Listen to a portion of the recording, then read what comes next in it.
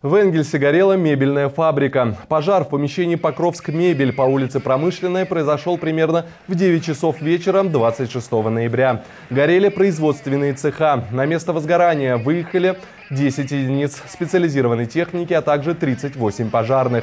Пламя быстро распространилось по зданию. Причиной этому стало наличие на складе легковоспламеняющихся веществ. В помещении полыхали отходы пиломатериалов и кровля на площади 550 квадратных метров. На момент ЧП по счастливой случайности в помещении не оказалось людей. Причина возникновения огня выясняется.